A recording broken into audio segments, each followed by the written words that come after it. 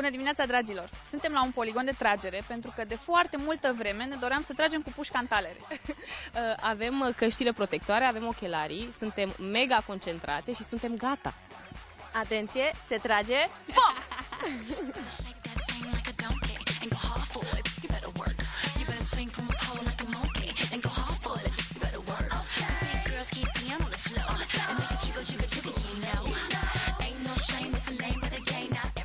Primul pas la intrarea în poligon, mergem la registrul de tragere.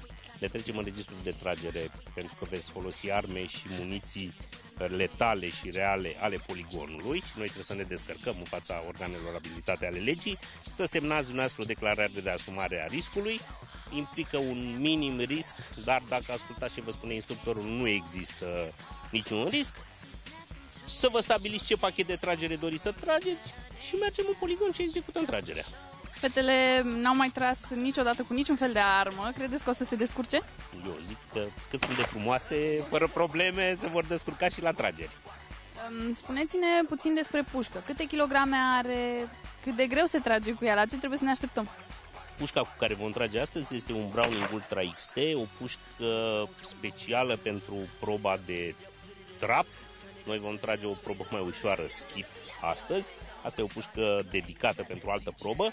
Are 3 kg jumătate, vom folosi muniție uh, trap de 24 de grame, alice de 2,4 mm, sunt 300 de alice de 2,4 mm într-un cartuș, distanța la care noastră veți împușca talerul 25-30 de metri, norul de alice în diametru de 60 de cm, talerul are 11 cm, dacă 2-3 alice din norul acela, din cele 300 de alice la ating, îl sparg, nu e nicio problemă. Eu zic că nu e chiar atât de complex, vă trebuie pu- puțină, puțin curaj, să vă descărca un pic de adrenalină, dar e foarte, foarte fan.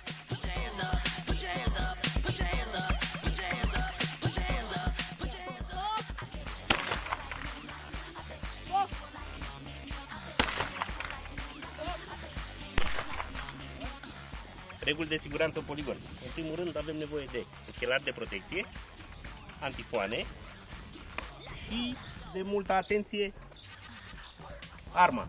Este un Browning Ultra XT, o armă performantă de trap letală.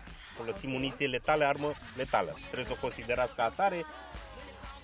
Se, va, se vor introduce cartușele în țepi, se închide pușca pentru trăgătorii de mână dreaptă. Degetul mare de la mâna dreaptă stă tot timpul în afara gărzii trăgaciului, nu îl punem pe trăgaci decât în momentul în care suntem gata să spargem talerul. Mâna stângă pe piesa a treia, pe 1, arma stă foarte bine pusă în umăr, îngropăm obrazul în patru funcții, în așa fel încât să vedem bumbul mic în baza bumbului mare, iar la comanda foc, al treilea punct colinear, trebuie să fie talerul.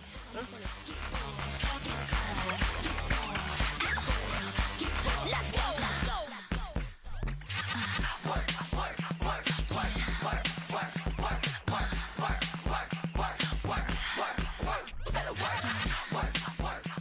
Rotim arma, arma puțin către dreapta, pentru că are ejectoare, și aruncă tuburile, verificăm țevile că goale, asigurăm, reîncărcăm și reluăm tragerea.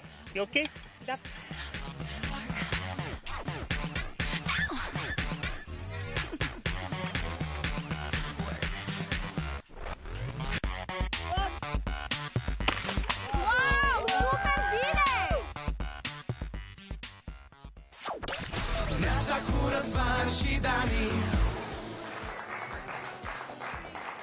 Superb, superb să le văd pe fetele noastre cu...